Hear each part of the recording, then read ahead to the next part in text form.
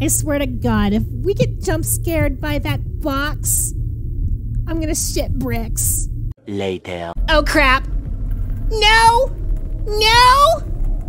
Oh my. Ah!